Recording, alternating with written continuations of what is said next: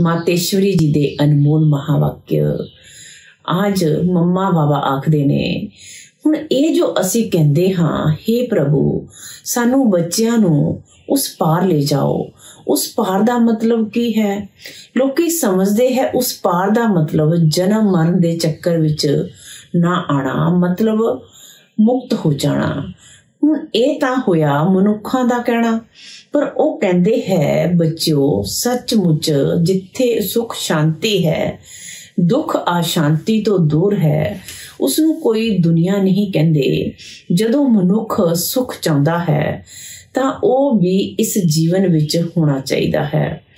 ਹੁਣ ਉਹ ਤਾਂ ਸਤਜੁਗੀ ਬੇਕੁੰਠ ਦੇਵਤਾ ਦੀ ਦੁਨੀਆ ਸੀ, ਜਿੱਥੇ ਸਰਵਦਾ ਸੁਖੀ ਜੀਵਨ ਸੀ। ਉਹਨਾਂ ਦੇਵਤਾ ਨੂੰ ਹੀ ਅਮਰ ਕਹਿੰਦੇ ਹੈ। ਹੁਣ ਅਮਰ ਤਾਂ ਵੀ ਕੋਈ ਅਰਥ ਨਹੀਂ ਹੈ। ਇਵੇਂ ਤਾਂ ਨਹੀਂ ਦੇਵਤਾ ਦੀ ਉਮਰ ਇੰਨੀ ਵੱਡੀ ਸੀ, ਜੋ ਕਦੇ ਮਰਦੇ ਨਹੀਂ ਸੀ। ਹੁਣ ਇਹ ਕਹਿਣਾ ਉਹਨਾਂ ਦੇ ਲਈ ਰੋਂਗ ਹੈ, ਕਿਉਂਕਿ ਇਵੇਂ ਹੈ ਨਹੀਂ।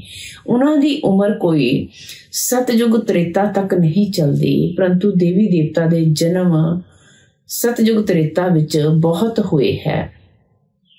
21 ਜਨਮ ਤਾਂ ਉਹਨਾਂ ਨੇ ਚੰਗਾ ਰਾਜ ਚਲਾਇਆ ਹੈ ਅਤੇ ਫਿਰ 63 ਜਨਮ ਦੁਆਪਰ ਤੋਂ ਕਲਯੁਗ ਦੇ ਅੰਤ ਟੋਟਲ ਉਹਨਾਂ ਨੇ ਜਨਮ ਚੜ੍ਹਦੀ ਕਲਾ ਵਾਲੇ 21 ਹੋਏ ਅਤੇ ਉਤਰਦੀ ਕਲਾ ਵਾਲੇ 63 ਹੋਏ।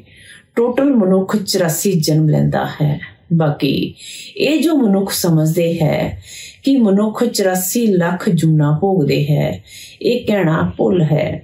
ਜੇਕਰ ਮਨੁੱਖ ਆਪਣੀ ਜੋਨੀ ਵਿੱਚ ਦੁੱਖ ਸੁੱਖ ਦੋਵੇਂ ਪਾਟ ਭੋਗ ਸਕਦੇ ਹੈ, ਤਾਂ ਫਿਰ ਜਾਨਵਰ ਜੋਨੀ ਵਿੱਚ ਭੋਗਣ ਦੀ ਲੋੜ ਹੀ ਕੀ ਹੈ? ਹੁਣ ਮਨੁੱਖਾਂ ਨੂੰ ਉਹ ਨੌਲੇਜ ਹੀ ਨਹੀਂ ਹੈ। ਮਨੁੱਖ ਤਾਂ 84 ਜਨਮ ਲੈਂਦੇ ਹੈ। ਬਾਕੀ ਸ੍ਰਿਸ਼ਟੀ ਤੇ ਜਾਨਵਰ, ਪਸ਼ੂ, ਪੰਛੀ ਆਦਿ ਟੋਟਲ 84 ਲੱਖ ਜੋਨੀਆਂ ਹੋ ਸਕਦੀਆਂ ਹੈ।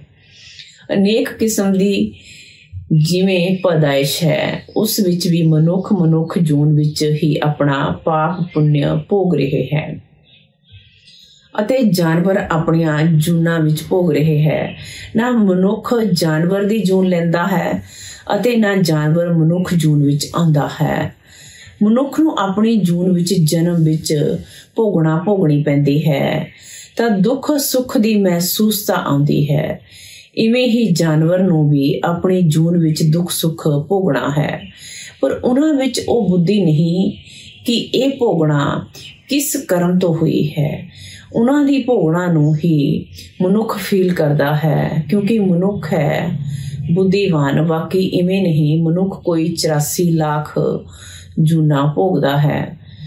ਜੜ ਝਾੜ ਵੀ ਜੂ ਲੈਂਦੇ ਹੈ, ਇਹ ਤਾਂ ਸਹਿਜ ਅਤੇ ਵਿਵੇਕ ਦੀ ਗੱਲ ਹੈ ਕਿ ਜੜ ਝਾੜ ਨੇ ਕੀ ਕਰਮ ਅਕਰਮ ਕੀਤਾ ਹੈ। ਜੋ ਉਹਨਾਂ ਦਾ ਹਿਸਾਬ ਕਿਤਾਬ ਬਣੇਗਾ, ਜਿਵੇਂ ਵੇਖੋ, ਗੁਰੂ ਨਾਨਕ ਸਾਹਿਬ ਨੇ ਅਜਿਹਾ ਮਹਾਵਾਕ ਉਚਾਰਨ ਕੀਤੇ ਹੈ। ਅੰਤ ਕਾਲ ਵਿੱਚ ਜੋ ਪੁੱਤਰ ਸਿਮਰੇ, ਅਜਿਹੀ ਚਿੰਤਾ ਵਿੱਚ ਜੋ ਮਰੇ, ਸੂਰ ਦੀ ਜੂਨ ਵਿੱਚ ਬਲ ਉਤਰੇ। ਪਰੰਤੂ ਇਸ ਕਹਿਣ ਦਾ ਮਤਲਬ ਇਹ ਨਹੀਂ ਹੈ ਕਿ ਮਨੁੱਖ ਕੋਈ ਸੂਰ ਦੀ ਜੂਨ ਲੈਂਦਾ ਹੈ। ਪਰੰਤੂ ਸੂਰ ਦਾ ਮਤਲਬ ਇਹ ਹੈ ਕਿ ਮਨੁੱਖ ਦਾ ਕੰਮ ਵੀ ਅਜਿਹਾ ਹੁੰਦਾ ਹੈ, ਜਿਵੇਂ ਜਾਨਵਰਾਂ ਦਾ ਕੰਮ ਹੁੰਦਾ ਹੈ। ਬਾਕੀ ਇਵੇਂ ਨਹੀਂ ਕਿ ਮਨੁੱਖ ਕੋਈ ਜਾਨਵਰ ਬਣਦੇ ਹੈ। ਹੁਣ ਇਹ ਤਾਂ ਮਨੁੱਖਾਂ ਨੂੰ ਡਰਾਉਣ ਦੇ ਲਈ ਸਿੱਖਿਆ ਦਿੰਦੇ ਹੈ। ਤਾਂ ਆਪਣੇ ਨੂੰ ਇਸ ਸੰਗਮ ਸਮੇਂ ਤੇ ਆਪਣੇ ਜੀਵਨ ਨੂੰ ਪਲਟਾਏ। ਪਾਪ ਆਤਮਾ ਤੋਂ ਪੁੰਨਿਆ ਆਤਮਾ ਬਣਨਾ ਹੈ। ਚੰਗਾ, ਓਮ ਸ਼ਾਂਤੀ।